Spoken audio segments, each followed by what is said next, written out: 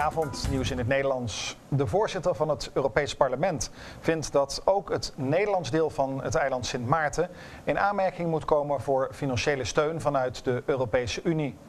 Ik vind dat we deze burgers die stemmen bij de Europese verkiezingen en die dezelfde verwoesting hebben ondergaan als hun Franse buren, moeten helpen. Dat zegt parlementsvoorzitter Antonio Tajani. Hij gaat namens het parlement een brief sturen naar de Europese president Jean-Claude Juncker, die volgens hem met een oplossing moet komen.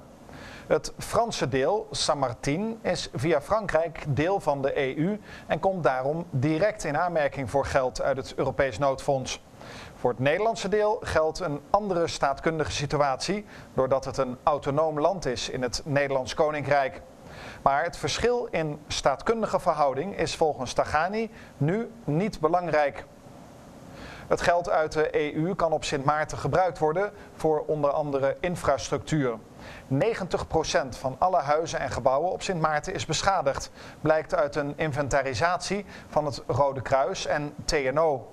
Een derde van de huizen is compleet verwoest. De grote nood helpen lenigen, thuis de schade opmeten en de rommel opruimen. Dat is waar mensen nu mee bezig zijn. De kleinere straten liggen nog vol wrakstukken, maar de doorgaande wegen zijn nagenoeg opgeruimd en dat helpt.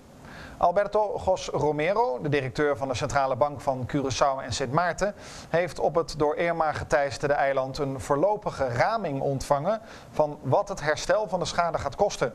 Dat komt neer op 2,5 miljard dollar. Corine Dijkhofs prijst zich gelukkig dat het dak van haar huis is blijven vastzitten. Want na inspectie met drones is komen vast te staan dat, zoals gezegd, 90% van de gebouwen geen dak meer heeft of ernstige schade heeft opgelopen. Ze rekent erop dat de verzekering snel uitbetaalt.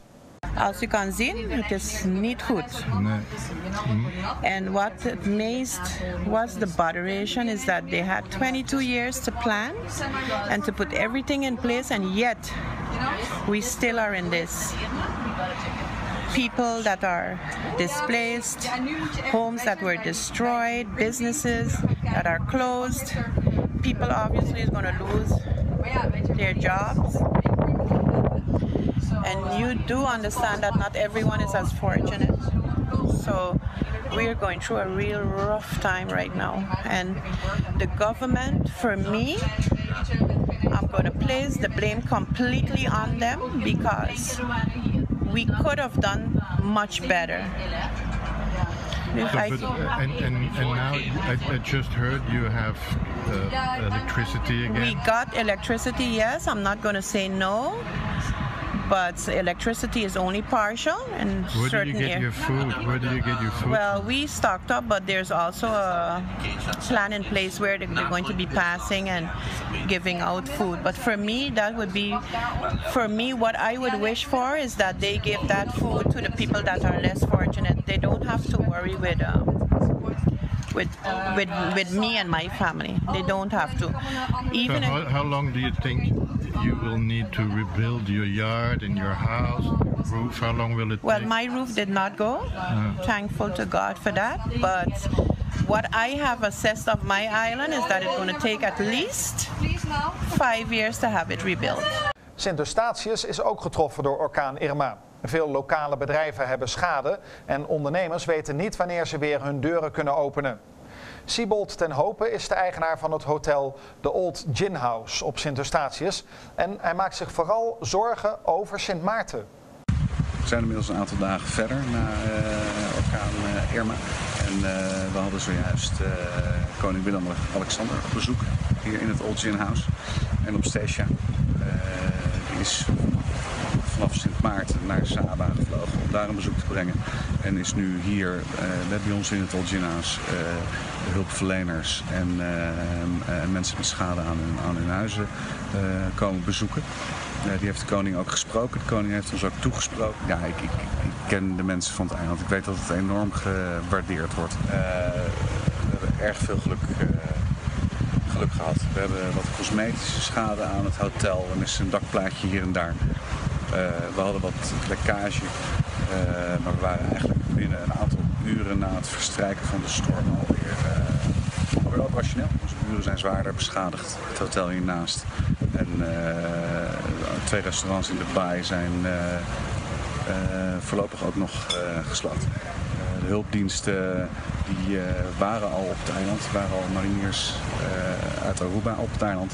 In vergelijking tot Sint Maarten hebben we dus eigenlijk heel weinig last gehad van die, van die orkaan. Al is de schade hier ook, hier ook aanzienlijk. Ik wil het ook niet, uh, niet, niet zomaar wegcijferen. Maar je gaat toch vergelijken met, een, uh, met, het, met het buureiland wat, je, wat we ook heel goed kennen. Of er mensen zijn hè, die willen helpen in, in, in, in, in financiële zin. Of mensen die, die pakketten op, op willen sturen. Maar ja, mijn advies is richt dat op Sint Maarten aan de geëikte kanalen die daar inmiddels, inmiddels voor zijn voor het eiland compleet te herstellen hangt, af van wanneer eigenlijk we weer uh, een, een, een, ja, een, goede luchtverbinding hebben met, met de buitenwereld. Uh, we zijn qua inkomend vliegverkeer voor 100% afhankelijk van Sint Maarten. En die luchthaven is nu gesloten. Ja, hulp voor het eiland. Ja, kom, het bezoeken. Het is, uh, het is de moeite waard. De situatie op Sint Maarten is iets veiliger geworden voor burgers. Dat zegt generaal-majoor Richard Oppelaar van Defensie tijdens een persconferentie. Er zijn in totaal nu ongeveer 600 militairen op Sint Maarten. En zij helpen het lokale gezag met het handhaven van de orde en de veiligheid. Afgelopen dagen zijn er meldingen gemaakt van plunderingen op het eiland. Zoals gezegd blijkt dat een derde van de huizen op het eiland totaal is verwoest. 750 mensen van Sint Maarten zijn intussen geëvacueerd, zegt de generaal. De komende dagen zullen meer evacuaties plaatsvinden, met name via een luchtbrug tussen Sint Maarten en Curaçao. Ik denk, uh, ja, ik vind dat uh, iedereen zit nu te vragen ten opzichte van. Ik denk dat de situatie ietsjes beter is geworden. Uh, door ook samenwerking gaat iedere keer steeds beter. Van acute noodsituatie zijn we weer een paar dagen verder. Dat betekent dat de afstemming fijner verloopt met alle instanties die daarmee bezig zijn. En of het de instanties zijn van Sint Maarten zelf of van de andere eilanden zoals landen zoals Aruba en, en Curaçao. of van politiediensten of van Marechaussee of van Defensie of hulpverleners, Rode Kruis. En er komt steeds meer hulpverlening op gang. En ze bedoelen dat dat inderdaad in samenwerking steeds beter verbetert. Maar is de situatie voor burgers veiliger geworden? Uh, ten opzichte van de periode vlak na de storm denk ik dat de situatie veiliger is geworden. Ja. Plunderingen? Ja, iedereen vraagt mij over plunderingen. Ik ga niks ontkennen uh, daarin, want in, in elke land uh, daar vinden criminele elementen plaats. Dat is ook gewoon zo. Maar waar we wel optreden, ook op basis in een overleg met het lokaal gezag, welke vitale objecten zijn belangrijk om het land weer zo snel mogelijk boven water te krijgen. En we treden op als daar noodzakelijkheid voor bestaat. En dat kan overigens ook door de politie zelf gedaan worden. Het kan samen met de politie gedaan worden. Dat kunnen wij ook afzonderlijk doen. Chippy-klanten van UTS zullen vanaf 2 oktober meer moeten uitgeven om de actieve status van hun telefoon te behouden. Is het nu zo dat de klant 120 dagen met een chippy tegoed kan doen, waarna het vervalt? Vanaf 2 oktober is dat al na 35 dagen. De klant dient ook 26,50 gulden te betalen om het nummer weer actief te maken. Op dit moment blijft een chippy-nummer 60 dagen actief zonder op te waarderen. Na 2 oktober is dat bij opwaarderen van minder dan 10 gulden nog maar 15 dagen en bij meer dan 10 gulden 30 dagen. Ook de Consumentenbond is intussen op de hoogte en raadt mensen die weinig bellen aan over te stappen naar Digicel. Daar blijft het nummer langer actief en behoud je vanaf 2 oktober je beltegoed langer dan bij UTS. De Consumentenbond was verbaasd over de nieuwe voorwaarden van UTS. Volgens Mark Marshall gaat de nieuwe koers van UTS juist tegen de wensen van de consument in. Zeker als je, als je de huidige uh, markt van de telecommunicatie bekijkt en ook daar bijvoorbeeld concurrent Digicel ook uh, uh, hun, hun, visie vergelijkt met die van UTS, dan zie je dat bijvoorbeeld Digicel meer eh, promoot en, en, en, reclame maakt met, met het rollover, het zogenaamde rollover. Dus dat je data van, eh, van, van, van een verlopen maand mee kan nemen naar een andere nieuwe maand. Ja. Dat het meer, uh, uh, meer tegemoet komt naar, naar de wensen van de consument en, en, en de huidige markt. dus we waren ook als, als, als consumentenorganisatie ook redelijk verbaasd over het feit dat uh, UTS dan eigenlijk in onze ogen de andere kant op gaat door, uh, door de, één, de beltegoed uh, minder lang geldig te laten zijn. En, en, ook de tijd van een inactief, actief zijn van een nummer, voordat ze weer opwaardeert en het nummer komt te vervallen, gewoon inkort. Want op dit moment is het zo dat na 150 dagen je naar UTS moet hè, om dat nummer weer actief te maken. En na 120 dagen dan vervalt je te goed bij Chippy. En dat, die 120 dagen, is nu 35 dagen. Dan vervalt gewoon je te goed. kan dat zomaar? Um, ja, dus, uh, UTS is, is, is, in zijn recht om dat te veranderen. Um, uh, godzijdank hebben we niet alleen maar één, uh, één aanbieder van, van telecom op Curaçao. Dus als het uit oogpunt van de consument moet je dan zeggen van ja, wat, is, wat is voordeliger voor mij? 35, dat ik na 35 dagen mijn, mijn nummer en, en, mijn, en mijn tegoed kwijtraak. Of een andere aanbieder die dan wel mijn, mijn tegoed overneemt naar een andere maand. En dat het, niet, uh, dat, dat het mij dan echt als uh, consument voordeliger uitkomt om uh, een andere aanbieder te kiezen in dit geval. U noemde de naam Digicel, die, dat is die andere aanbieder. geeft de Consumentenbond hiermee een, een advies om dan maar naar Digicel te gaan? kijk, er zijn meerdere redenen waarom je een, een, een, een, een, een telefoonnummer hebt. je kan als, als je actief je nummer gebruikt en, en iedere maand geld op je prepaid uh, telefoonkaart zet, zou je makkelijk in, de, in hetzelfde, hetzelfde aanbieder kunnen blijven.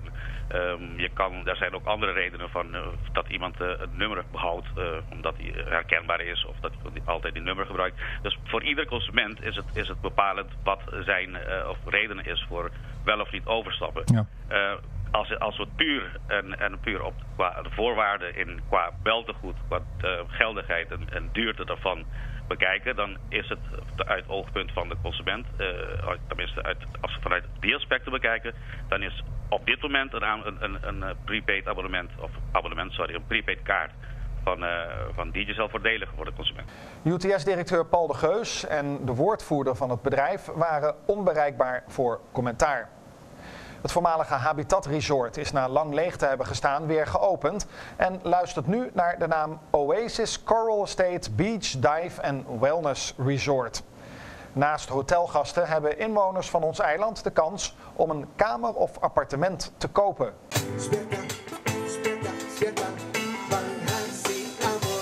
We zijn uh, nu echt van start. Uh, alle huizen zijn klaar voor de verhuur. We hadden natuurlijk al de diverse restaurants, wellness en, en, dat soort zaken. Die zijn de afgelopen periode geopend. Ja, nu is eigenlijk het voltooid met de, de bedden en de, de hotelkamers. Over hoeveel bedden en hotelkamers spreken we hier? We praten over 56 hotelkamers en 20 holiday homes.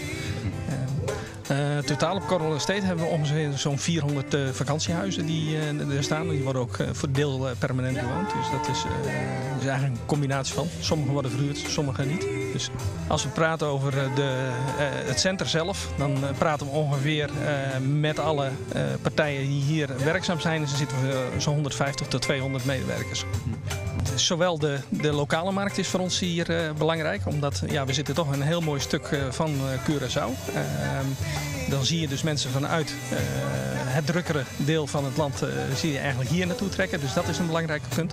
Maar natuurlijk het grote deel moet van buiten afkomen. En daar zien we de Amerikaanse markt en de Europese markt belangrijk voor. En Europees is dan Duitsland, België en Nederland met name. Want het was, was echt, ja, iedereen is laaiend enthousiast ziet het product en zeggen ja, maar dit is, dit is het zoals het moet. En ja, die hebben er ook allemaal eh, het volste vertrouwen in. Dus de reacties zijn uitstekend. Ik denk dat dat komt omdat we een uniek resort zijn. qua, qua opzet. Dus heel veel ruimte, heel veel natuur. het thema is ook rust, ruimte, veiligheid. dat in combinatie met een fantastisch mooie ligging hier op Banda Abouw. Uh, op toch eigenlijk een uh, hele beperkte, uh, korte afstand van de stad. Maar ook dicht bij alle mooie strandjes en natuurspots van Bandabouw. Mensen zijn op zoek naar kwaliteit. een verblijf op niveau. Of dat dan een vakantie is of een permanent wonen. Of mensen die hier drie, vier, vijf, zes maanden per jaar zijn. Uit verschillende vormen van gebruik. Maar mensen zoeken allemaal wel de kwaliteit, de rust, de ruimte, natuur, de zee, eh, ligging aan zee. Alle eh, kavels en, en woningen en uh, appartementen, studio's hebben nagenoeg allemaal zeezicht. Dus dat is natuurlijk een enorme kwaliteit. En de services en voorzieningen die er zijn. Dus een restaurant als karakter, een beachbar als koraal, een luxe spa en wellness, een duik, duikschool, duikshop, een prachtig strand. Ja, dat zijn dan de voorzieningen die het, die plaatje compleet maken. Uh, heel positief. Uh, Coral State is een resort uh, van 450 hectare.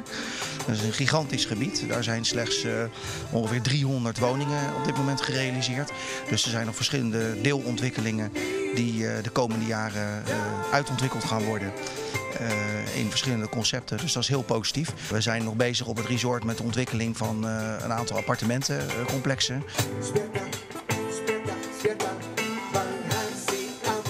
Tot zover nieuws in het Nederlands. Ik wens u een fijne avond.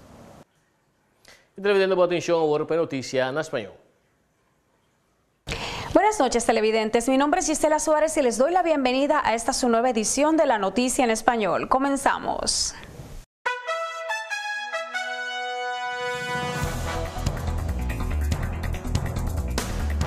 La ministra de Enseñanza, señora Marilyn Alcalá Gualé, dio su autorización a las directivas de las escuelas para que éstas puedan terminar más temprano por motivo de la ola de calor excesivo. Hemos podido percibir la ola de calor excesiva que se ha venido sintiendo en estos últimos meses. De hecho, aquí en Curazao estamos en código amarillo como alerta de este mismo fenómeno de calor en donde se pide a la comunidad protegerse muy bien de los rayos solares y mantenerse hidratados el mayor tiempo posible. Es por esto que la ministra de Enseñanza ha tomado en cuenta esta situación que no solo afecta a los adultos, sino a nuestros niños y en las escuelas se ha venido manifestando un calor insoportable para ellos. La ministra ha tomado en cuenta todas estas situaciones y esto ha representado que a la hora de estudiar puede producir mareos, dolores de cabeza y falta de concentración en la clase.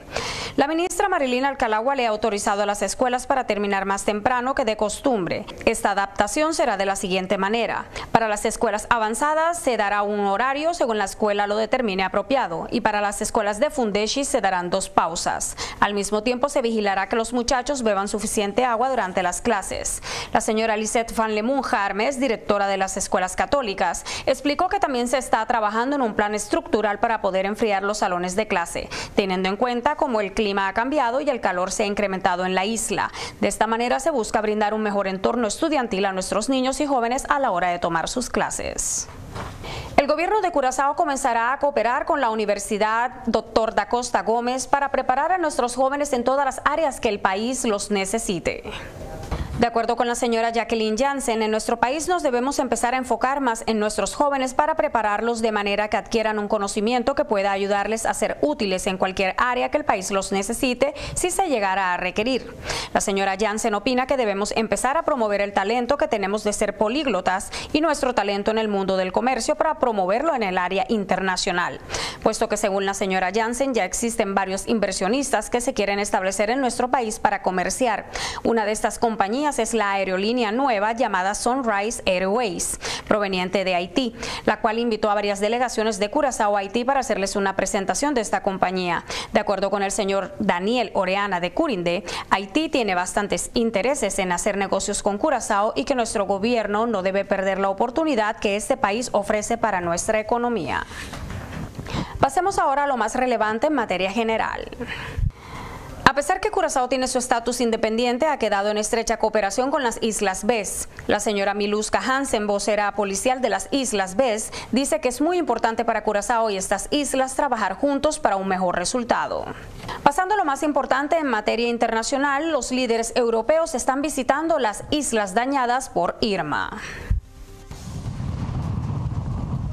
Los líderes europeos visitan las islas territoriales dañadas por el huracán Irma en el Caribe. Entre los objetivos de esta operación figura refutar las acusaciones de que su respuesta ha sido lenta e inadecuada. El presidente francés aterrizó el martes en San Martín casi una semana después de que la tormenta destrozara el 95% de la isla.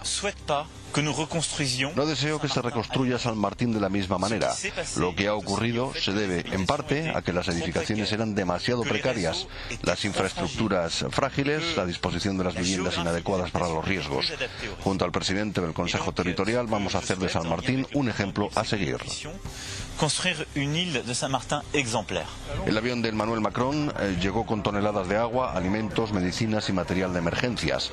Ya hay sobre el terreno 1.500 policías y efectivos de protección civil y se esperan 500 más. Irma dejó 11 muertos en el lado francés de la isla y 4 en la parte holandesa. El rey Guillermo Alejandro visitó a los afectados en la mitad administrativa holandesa de San Martín y ha quedado impresionado por la destrucción. Ha dicho que nunca había visto imágenes parecidas. El tercero en este periplo por las zonas siniestradas es el ministro de Exteriores británico Boris Johnson, que se desplaza hasta las Islas Vírgenes Británicas para presenciar las labores de recuperación. Gran devastación en Florida por el paso del huracán Irma. Retorno a los callos de Florida entre escombros y destrucción. Los seis millones y medio de floridianos que recibieron orden de evacuación ante el huracán Irma regresan por carreteras congestionadas y estaciones de servicio sin combustible. Al menos 12 personas han perdido la vida en el estado de Florida tras el violento ciclón que arrasó viviendas, vehículos, embarcaciones y árboles. Permanecí en casa con mi compañera Donna. Estuvimos encerradas entre el pasillo y el baño durante dos días. Fue un infierno, dice esta residente. Por el momento en Estados Unidos el número de víctimas mortales se eleva a 19. A estas muertes se suman las de al menos 37 personas en el Caribe, donde Irma llegó a alcanzar la categoría 5.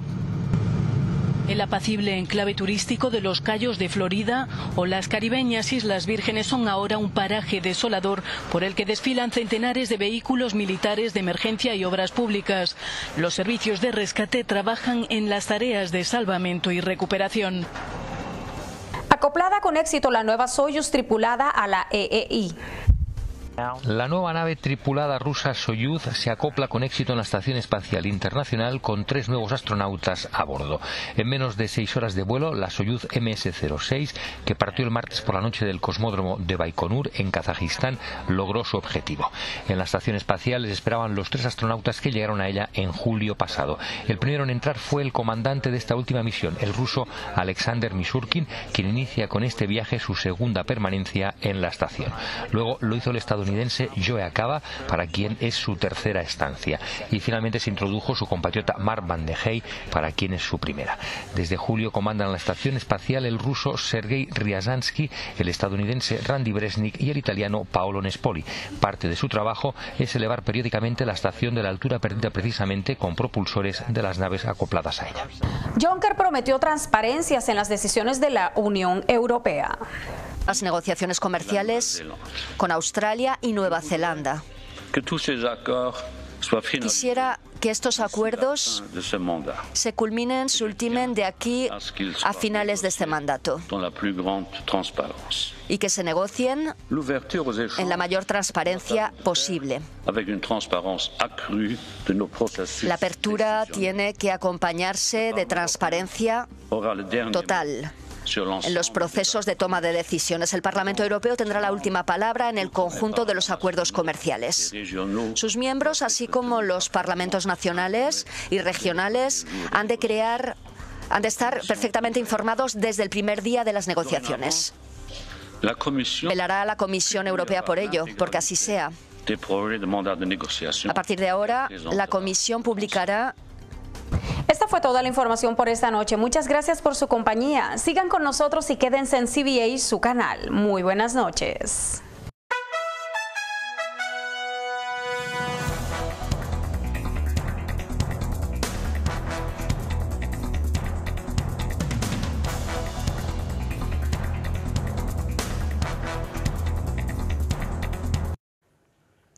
Televidentes, já foram aqui no chega final do nosso boletim de notícia. Para já relação a que bom programação desse vídeo continuar.